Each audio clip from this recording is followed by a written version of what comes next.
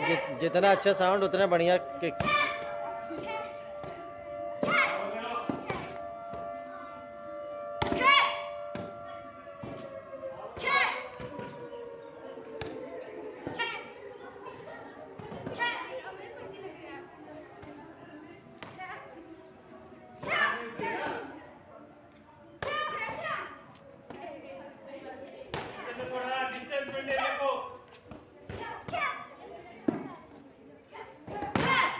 Sound नहीं आ रहा।